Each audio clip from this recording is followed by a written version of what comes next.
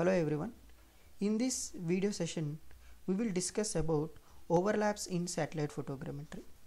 Before going into the overlaps, just imagine if you want to take a photograph of a specific area, you need to plan a flight mission like aircraft travel plan or a satellite travel plan.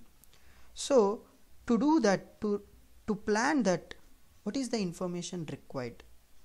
And if the information gathered and what is the use of that information? How you will use that information? And also how you will define the cost of the aerial survey?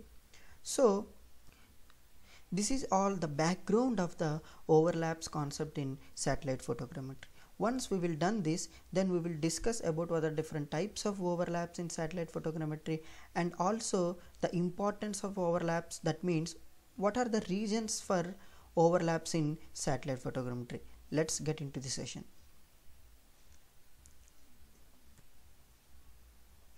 So as i discussed before what is the background of the overlaps concept? So in order to plan the flight mission the following information is very much required like the area to be surveyed. What is the focal length of the camera that you are using? What is the scale of the photograph that you want to fix? What is the longitudinal and side overlaps? And what is the approximate ground speed of the aircraft in still air? Here if you see there comes the importance of overlaps concept in satellite photogrammetry. While you are deciding um, flight mission you need to have the very much important concept called longitudinal and side overlaps. We will see what is longitudinal overlap what is side overlap. Let's get into this video. So and also this information is used to compute the altitude of the aircraft above the datum what is the area covered by each photograph what is the time interval between exposures what are the number of strips and what are the number of photographs required to cover a specific area? These all these factors have very much bearing on the cost of aerial survey. So the cost of aerial survey will depend will depend upon all these factors. So if cost is if if you want more accurate uh, aerial photographs your cost will obviously more. So let's look at what is overlap. What do you mean by overlap? So if i want to take sufficient photographs with proper overlap must be taken to cover the entire terrain to be surveyed. That means the overlap of the photographs in the direction of flight line is known as longitudinal or forward overlap. The other name of longitudinal or forward overlap is fore and aft overlap. Generally this longitudinal overlap is kept around 60% and this longitudinal overlap will be formed in the direction of same flight line. If a flight line is different that means parallel flight line then that overlap between the previous flight line photographs and next flight line photographs that overlap between the adjacent flight lines is known as side or transverse overlap. Generally it is kept around 20 to 40 on an average 30 percent we will keep this transverse overlap. If you look at this diagram carefully in this diagram we will completely define the different types of overlaps. How a flight how overlaps are taking place how a flight plan is there everything will be discussed in this diagram by using this diagram. If you see let us say our flight is planning like this. We have planned the flight line like this. So exposure 1 exposure to exposure is nothing but at that point of time we will take the snapshot of the area.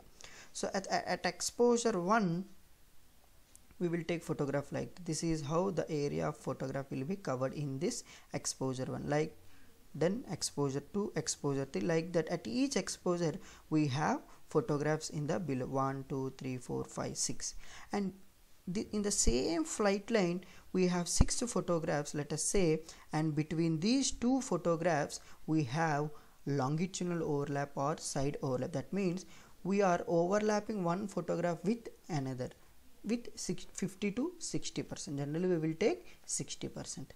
Then I have planned another flight line adjacent to this. That means parallel to the initial flight. And that is this flight travel. So on this adjacent flight line I am taking another set of photographs like 7 8 9 10 11 12 kind of photographs. So here also in the same flight line you will have longitudinal overlap between 7 and 8 8 and 9 like that.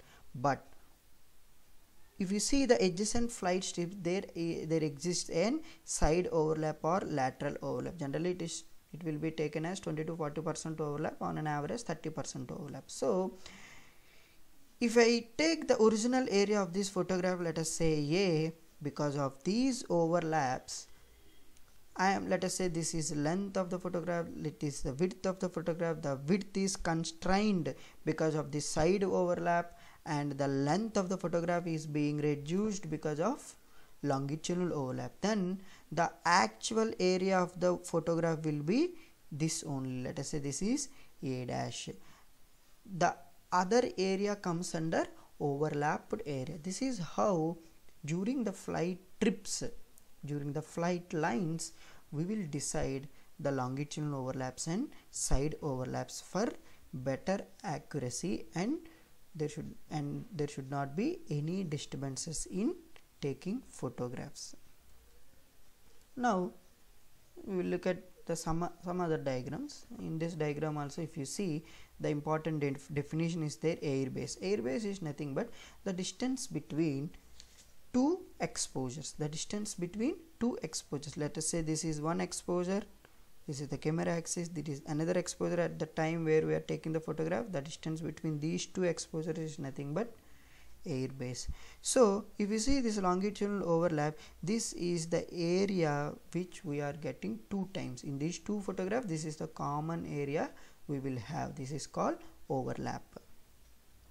So then so how you how you decide the forward overlap is nothing but whenever the flight plan is going whenever the flight is going on whenever we fix the flight line generally based on the various altitude variations tip and tip tip and tilt like uh, vertical distortion or horizontal distortion as the flight proceeds we need to fix around 50 to 60 percent of overlap so that we will we will get continuous photographs and again like uh, once the completion of the first strip the aircraft turns and flies parallel or adjacent to the first line. Then there exists side overlap or lateral overlaps. Generally this is fixed 15 to 20 percent or 20 to 40 percent around 30 percent also they used to fix. Here also the area should be covered in a well manner without any gaps. So that's why we are having side overlaps. Then why we need to have these overlaps what are the reasons for overlap to ensure a complete coverage of the area to be surveyed, there should be some overlap of the area covered by each photographs. We will see there are four regions for providing overlap. Like to orient prints, like I said, to form a continuous flight strips, we need to have these overlaps. And also, if you observe the photographs that taken from the aerial survey, generally at the center we will see very less distortions. Means at the center we will have very good accurate information photographs. But if we come at the sides of the photographs we will see very high distortions. To, to eliminate that highly distorted outer portion we need to have this overlap so that the two overlap photographs will be merged and we can see from the stereoscope instruments we will get better information of the edges of the photographs also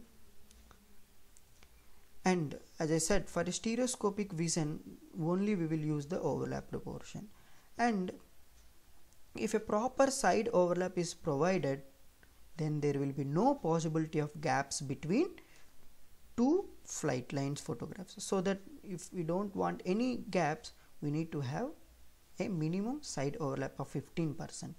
Moreover, the side overlap extends control between flight lines for photogrammetric methods. So generally uh, nowadays uh, satellites are being used to take photographs widely. So if you download the satellite photograph of a specific area also if you see the each photograph each satellite image at the ends of the satellite image you will see many distorted images. So there you cannot draw information. So for a particular area if two or more satellite photographs are required we will take all those satellite photographs and we will generally see the overlapped portions only. So that those overlapped portions like longitudinal or side overlap we will mosaic it. Mosaic is nothing but we will combine those photographs as a single one so that those overlapped portions will be rectified with the use of softwares like ArcGIS and ERDAS and ENVI we can overlap the photographs mosaic the photo photographs very well so that we can draw information productively from the overlapped portions with very very very very less distortions. So if a question being asked like explain define overlap and explain importance of overlaps or uh, discuss longitudinal overlap and side overlap in aerial photography either in engineering services exams or in end semester exams i think i hope you are able to write the answer after listening this video lecture. Thank you